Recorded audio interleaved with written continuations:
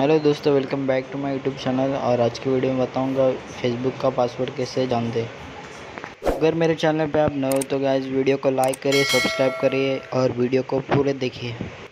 तो अगर दोस्तों हम फेसबुक का पासवर्ड भूल जाते हैं तो हमें उसको कैसे रिकवर करना होता है, वो आपके मैं वीडियो में बताऊँगा।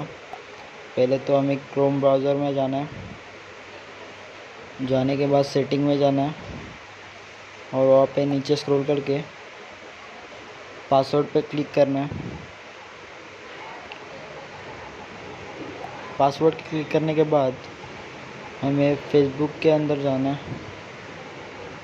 ये देखिए मेरी आईडी यहाँ पे देख सकते हैं आप और मेरा पासवर्ड यहाँ पे शो हो जाएगा।